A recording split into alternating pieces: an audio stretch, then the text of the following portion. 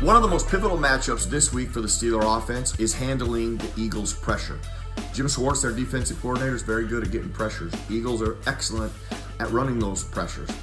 The advantage the Steelers have is you got Ben under center who has seen it all and does a great job of getting you from a bad play into a good play. Let's take the situation against the Texans. Third and nine, and it's a run play call. Let's look at what Ben ended up doing to end up sealing the game. Okay, here's a situation in the game. End of the game, third and nine. Vulnerable part of this defense, look at the top of the screen. Defensive back, corner over Claypool is nearly eight yards off the ball. Steelers have a run call here. Let's snap the ball.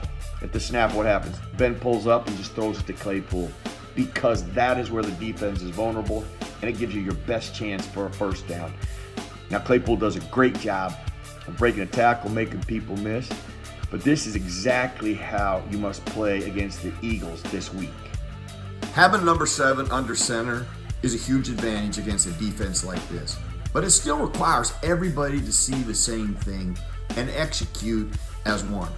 If they're able to handle the pressures of the Eagles and really keep themselves in short yardage situations, the Steeler offense will have done their part and give the Steelers an excellent chance to win this game.